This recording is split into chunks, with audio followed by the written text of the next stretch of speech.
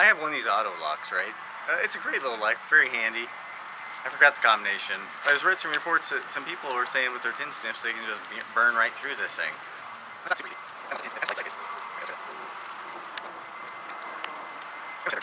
These are Milwaukee's.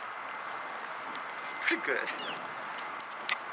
Well, I think I do but I can't through it. See that? It's got no hands there.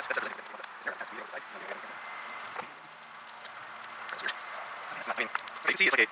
That's fine. Yeah, I, I wouldn't be like just going up and snipping through this thing. It's got some. Hey, there it is. Well, that was not easy. You know, it's kind of a thick outer layer. You got a, a metal a fiber layer that it all kind of doesn't let you get really good traction on it.